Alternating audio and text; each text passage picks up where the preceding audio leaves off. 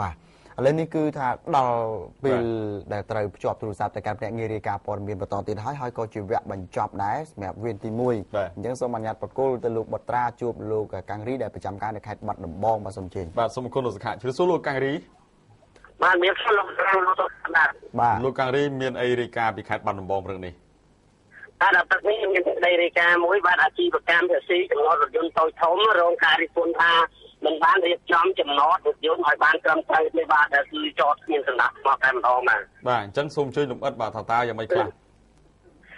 បាទមជ្ឈដ្ឋានជាច្រើនបានរិះគន់ចំពោះការធ្វើអាជីវកម្មយកភាស៊ីឬចំណតរថយន្តតូចធំដោយផលិតជាក់ស្ដែងទៅ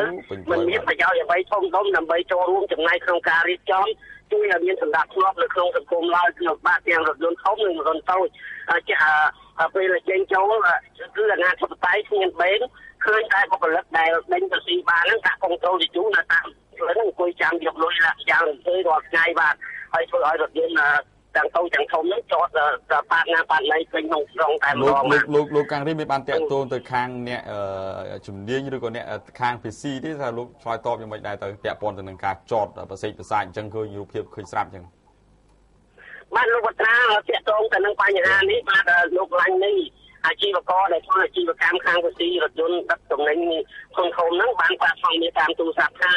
លោកលោកមានចំណតបេហ្នឹងសម្រាប់ឡានធំហ្នឹងចត3កន្លែងទី1នៅកវ៉ាត់ក្រុងទៅមុខពេទ្យកូរ៉េអង្គាយទី2នៅផ្សារ13មករានិងទី3នៅផ្សារទំនើបទីពុយភូពុយបាទប៉ុន្តែរថយន្តធំទាំងអស់នោះมันចូលបេនឡើយបាទលោកចង់ឲ្យចូលណាតែតែដើម្បីងាយស្រួលក្នុងការគ្រប់គ្រងប៉ុន្តែមន្ត្រីនគរបាល ស្រាវជ្រាវមិនបានមន្ត្រីនគរបាលដែលរៀបចំស្ដាប់ស្គាល់នេះមិនបានចូលរួមជាមួយខាងក្រុមហ៊ុនរបស់លោកដោយបាទហើយប៉ុន្តែប៉ុន្តែលោកចង់ឲ្យមន្ត្រីដូចជាដូចជាគយខាងចិញ្ចៀនលើចំនួនប៉ូលីសស្ដាប់ស្គាល់បែបហ្នឹងឲ្យនៅមួយម្ដងតែម្ដងដើម្បីទស្សនៈទទួលរបស់នោះប៉ុន្តែมันមានការសហការពីស្ថាប័នជំនាញទាំងអស់នោះទេបាទ ហើយពាក់ព័ន្ធទៅនឹងបញ្ហានេះដែរលោកសាកំសាននាយកាយឡៃនគរបាលរាជរដ្ឋទីគោគុក្នុងការហ្នឹងលោកបានបដិសេធថាអ្នកដេញបស៊ីបេនឡានកូនធំទាំងនោះដាក់កុងត្រូលជាជួបធ្វើអាជីវកម្មស្វ័យចិត្តទេគ្មានការសហការជាមួយនឹងស្ថាប័នរបស់លោកទេអញ្ចឹងការដាក់លោកទីរបស់ឯកជនតែប៉ុណ្ណោះបាទបើលោកកាំងរីការដាក់កុងត្រូលជជុះនឹងហើយតើតើការនៅតែបន្តឲ្យមានការកើតឡើងអញ្ចឹងកើតរយៈពេលប្រហែលខែប្រហែលថ្ងៃហើយឬក៏ទើបចាប់ផ្ដើមរយៈពេលខ្លីនេះទេលោក បាទជាការពិតនៅវត្រាគឺទៅស៊ីដែលយកចំណតនៅពេលយន្តនេះគឺតាមពិតគឺក្បួនគេគឺនៅយកទៅដើមទីកន្លែងបេនតែម្ដងមិនត្រូវមកដាក់កុងតូលជុះនៅតាមខ្នល់ផ្លាច់ចិត្តដូចលោកសុខៈឃើញលោកបត្រាឃើញប្រាប់ហើយបាទគឺពួកគាត់ដាក់ជាមួយនៅនៅលើដងផ្លូវតែម្ដងបាទគឺមិនមានតាមពិតគឺត្រូវនៅយកកន្លែងបេនរៀបចំកន្លែងបេនគឺរថយន្តចេញបេនគឺបានបានត្រូវយកបស៊ីតែនេះយកមកដាក់កុងតូលនៅលើផ្លូវលោកកាំងរីដូច្នេះបាទដំបងគឺគាត់ យកលុយតែម្ដងបាទអញ្ចឹងទេបានន័យថាខាងអ្នកដាក់កុងត្រូលយកលុយនេះមិនបានសហការជាមួយនឹងខាង PC នៅក្នុងផ្សារទេលោកបាទបាទជាការប៉ុណ្ណាលោកត្រាំមិនបានរួមរួមចំណែកក្នុងការរៀបចំបេនឲ្យបានច្បាស់លាស់ទេបាទអត់គឺគឺគាត់ដាក់រថយន្តចតអាណាកបតៃបាទទៅពាក់ព័ន្ធនឹងបញ្ហាដ៏ស្មុគស្មាញនេះយើងបានជួបជាមួយអាដាមចាន់សកលអភិបាលនៃគណៈអភិបាលខេត្តបាត់ដំបងលោកអាដាមបានមានប្រសាសន៍ថា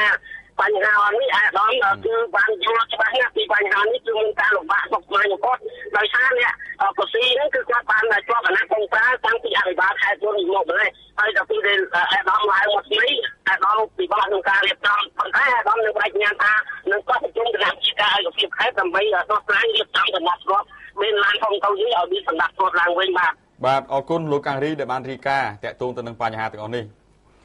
បាទលោកសុខាសូមបញ្ជាក់តិចកងចូលចូលទាំងអស់នេះមានកន្លែងក្នុងខេត្តបាត់ដំបងមកគឺដាក់នៅតាមដងផ្លូវចេញចូលទាំងអស់ពីនៅខេត្តបៃលិនប្រទេសវិនជ័យនិងព្រំភ្នំពេញបាទបាទអរគុណជម្រាបលាលោកអរគុណលោកតាំងលោកសុខាបាទបាទឥឡូវសូមអនុញ្ញាតជួបលោកពិសិដ្ឋចុងក្រោយលោកពិសិដ្ឋជំរាបសួរបាទលោកពិសិដ្ឋ លោកពិសិដ្ឋប្រចាំការនៅព្រៃវែងឥឡូវនេះគឺថាយើងមានភ្នាក់ងារមួយរូបទៀតនៅស្វាយរៀងកាលពីមុនលោកពិសិដ្ឋលោកទទួលខុសត្រូវទាំងព្រៃវែងនិងស្វាយរៀងដែលជាតំបន់ទលំទលាយដល់អ្នកឯងនេះឥឡូវនេះលោកទទួលផ្ដាច់មុខព្រៃវែងហើយស្វាយរៀងគឺមានភ្នាក់ងារមួយរូបទៀតឥឡូវជួបលោកពិសិដ្ឋមើលថាតើមានរឿងអីពីព្រៃវែងព្រឹកហ្នឹងលោកពិសិដ្ឋជំរាបសួរបាទជំរាបសួរលោកសុខៈព្រមទាំងលោកបត្រាផងដែរបាទបាទពីព្រៃវែងមកមានអ្វីរាយការណ៍ព្រឹកនេះបាទបាទទៅនេះ មានព័ត៌មានមួយគឺបន្តពី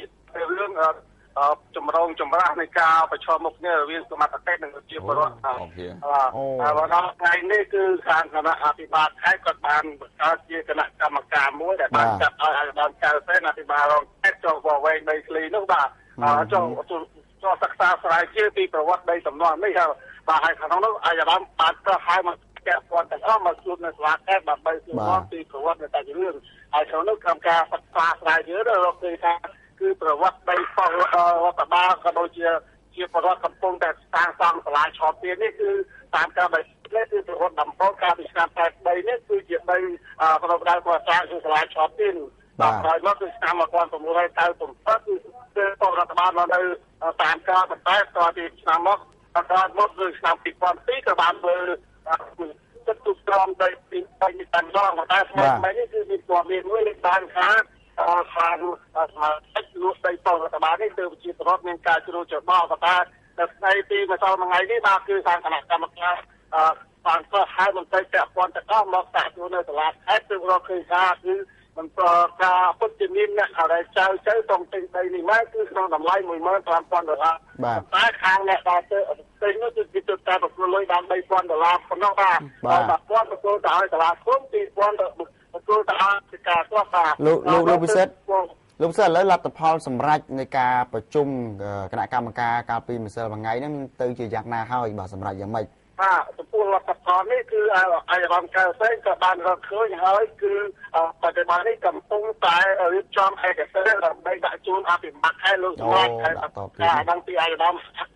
អាយរំថាស្រីអភិបាលខេត្តលោកបានដឹងថានៅល្ងាចថ្ងៃនេះលោកនឹងក៏ហៅមន្ត្រីជំនាញនៅគ្រប់ស្ថាប័នទាំងអស់ដើម្បីធ្វើប្រជុំពិភាក្សាឲ្យសម្រេចថាតើគួរតាមទុកដីនេះបកគលឲ្យខាងប្រជាពលរដ្ឋដើម្បីឆ្លើយធ្វើឆ្លើយតបទៀតគឺបកគលដីនេះ បាទដើម្បីធ្វើទីតាំងតរដ្ឋបាលនៅទីតាំងនេះតែម្ដងបាទបាទអរគុណតែអ្វីចឹងដែលបាទយើងចាំស្គាមើលល់ឲ្យឃើញថាគឺប្រជាពលរដ្ឋគាត់នៅតែទៀមទាយកដីទីដើម្បីដើម្បីធ្វើជាសាលាឆោតទៀនសម្រាប់ធ្វើបុណ្យនៅក្នុងសកលរបស់គាត់ដដែលបាទតែយើងតាមមើលថាតើអភិបាលខេត្តគាត់សម្រេចយ៉ាងណានោះគឺយើងនឹងធ្វើការតាមបន្តទៀតបន្តទៀតអរគុណលោកពិសិដ្ឋអរគុណសូមជម្រាបលាបាទជំរាបលាស្អែករីការឿងនឹងបន្តទៀតកុំឲ្យអាក់ខានជំរាបលាលោក ចុងក្រោយសូមអនុញ្ញាតជូនដំណឹងដល់យុវជនយុវនារីដែលគ្រប់គ្រងស្រឡាញ់ចូលចិត្តណាកម្មវិធី The Voice Cambodia នៅ